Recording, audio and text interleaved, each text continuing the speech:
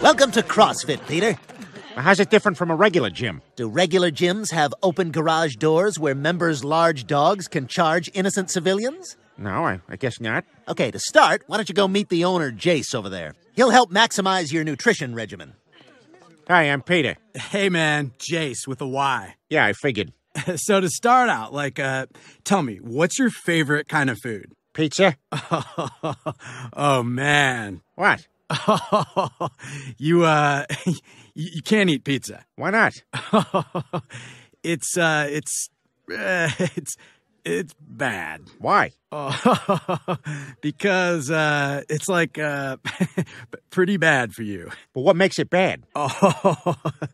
yeah, no, it's like uh like probably one of the worst things you can eat. How come?